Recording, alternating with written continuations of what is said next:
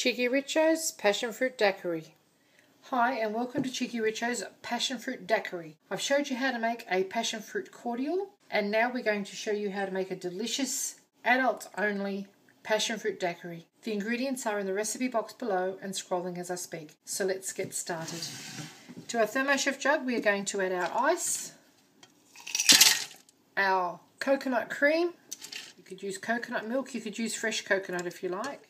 Now this is our passion fruit cordial.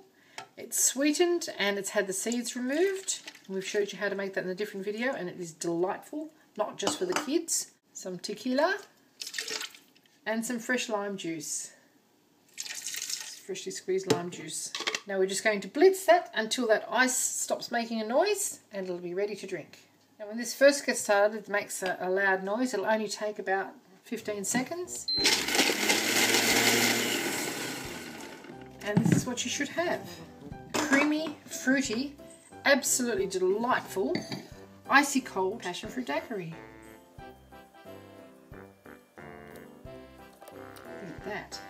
Decoration, we've just got a potato peeler. You could use a zester for this and we're just going to make little spirals of lime skin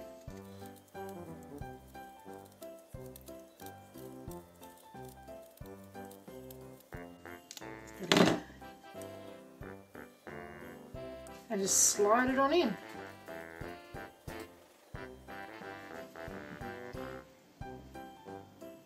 And there you have it, Cheeky Richo's Passion Fruit Daiquiri. Have a little taste, shall we?